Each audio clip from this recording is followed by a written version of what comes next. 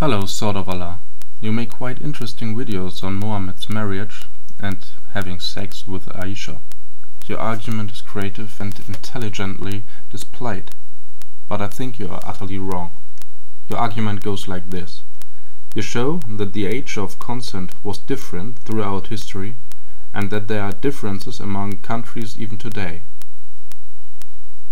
You conclude that the age of consent, at least the age of consent according to human-made law, is arbitrary and none of these laws is more just than the other. In consequence, one cannot take one law or moral code to judge a person who lived under another law. Now, if we look for the history of the age of consent, we see that it is not random. We see a steady increase of this age. Why is this the case? Some points were mentioned already in text and video replies. Some hundred years ago the life expectancy was pretty low. While a few people got quite old, most died at a young age. Thus, the period in which women would give birth was prolonged by a low age of consent.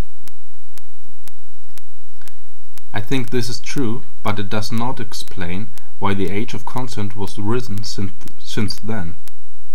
KT45 cited some medical studies in his video reply.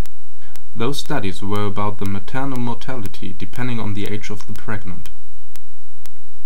Those studies show, for example, that 10 to 14 year olds have a 5 times higher risk to die during birth than women of the age of 20 to 24. But not only the improvements of medical knowledge plays a role here, but also the improvement of psychological knowledge. The effects of child abuse are well known today. This can be depression, post-traumatic stress disorder, emotional dysregulation, neurosis and a lot more. Not all victims of child abuse will suffer from these illnesses, but a lot do. All this is not known for a very long time now. Psychology is not older than 150 years, I think, and systematic inquiry on the impact of crimes on the lives of victims is even much younger. Children and adolescents face special dangers of sexual abuse compared to adults. They are physically weaker, but also they are in the process of becoming responsible for themselves. Thus, they can be tricked, fooled and deceived more easily than adults. Because of this, the laws of many countries have different levels of protection according to the age of both persons having sex. How does this look like in different countries? In Germany, for example, the age of consent is at 16. Adults are not allowed to have sex with a person of lesser age. But there is an exception. If the older person is between 16 and 21, the age of consent is 14. This law takes in account that the differences in power and knowledge are bigger between an adolescent and an adult than they are between adolescents. You see, this law does not prevent adolescents from having sex. It protects them from being exploited. If the older person is a confidant of the younger, a teacher for example, the age of consent is set at 18. This is due to the fact that a consent has more influence on the adolescent than another person. Now, in your list, you mentioned the US and Bolivia. These countries are taking extremes regarding the age of consent. In the US, the age of consent is from 16 to 18 depending on the state. Most of these states have a so-called close-in-age exception, either as a part of the law or as an accepted defense in court. This means, for example, that in a state where the age of consent normally is 18, it is 16 if the age difference is 5 years or less. On the other hand, there is Bolivia. The age of consent here is 12. For most of us, this seems pretty low. But as the German and the US law, the Bolivian law acknowledges that adolescents older than 12 also need a special protection. If a person younger than 17 was manipulated into sexual acts by deceit, by harassment or coercion, or if the adult is a confidant, then this is regarded as a crime. Law on the age of consent adapts to changings of circumstances, the longer uh, lifespan for example.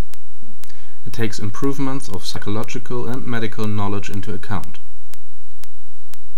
And protecting children and adolescents from sexual abuse. Different countries take different approaches. They may set a low age of consent and put older adolescents under special protection, like Bolivia. They may set a high age of consent and define exceptions, like the US do. Or they have a mixed approach, like Germany. Sword of Allah, what you saw as the indication for the deviancy and randomness of so-called human law is actually a sign of its strength. Human law is able to evolve, it can adapt to changed circumstances, and it can be improved according to our knowledge. Divine law cannot evolve. Sharia is a law from the 7th century.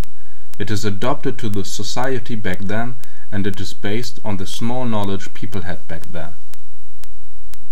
My video is titled Sharia law or cultural relativism? My answer is neither of those. As far as law develops according to the improvement of our knowledge, we can indeed rate laws. We can say that a law that does not take into account the possible physical and psychological harm is worse than a law that does. Sharia law on the age of consent is worse than modern laws are, be it Bolivian, German or US law. Now, is Mohammed to blame for having sex with nine-year-old Aisha? If he acted according to the law and the conventions of his time, I'd say no, he is not to blame.